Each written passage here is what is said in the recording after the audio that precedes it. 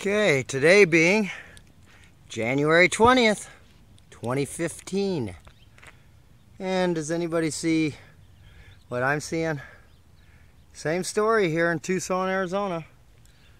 The old blue skies. If you look closely about the center of the screen, there's a white airplane leaving no trails. And then look at how badly they've been just working us to death this morning, all the way across the Catalina mountain range.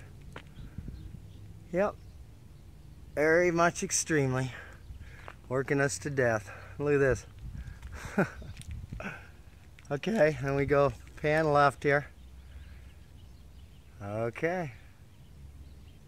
What do we got here? They've been working it really hard, making sure that uh, either the sun's blocked or whatever the hell they're doing. Fresh one right there. That was over Davis-Monthan Air Force Base. So, this is it, folks. The way it keeps on going. You already given your opportunity to stand up. If you're just watching these videos now, just figuring out that, yeah, oh heck, I uh, should have looked up. Well, it's pretty much too late, folks, for you guys. So, we're in the middle of a class action lawsuit and uh, we'll get it done just about as soon as we're dropping the last one of us falling to the ground dead. There's a Davis-Monthan uh, A10. Yeah, just observing the chemtrails like usual. Okay.